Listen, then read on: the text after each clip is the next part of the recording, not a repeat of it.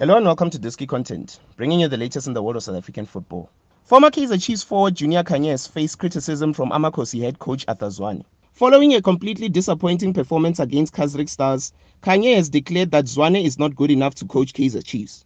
In a statement, Khanye said that Lengwenya u Arthur ayikho mnandi. This statement can be loosely translated to that Arthur Zwane is not good enough to coach Kaizer Chiefs. Zwane soon responded on Monday by saying that critics are part of the game. That is his opinion I respect his opinion as a former player.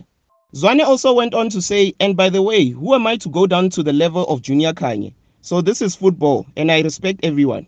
Zwane completed his statement by saying, We respect each other, so that is his opinion, and I love it. For the fact that he's saying what he thinks, but people are not the same.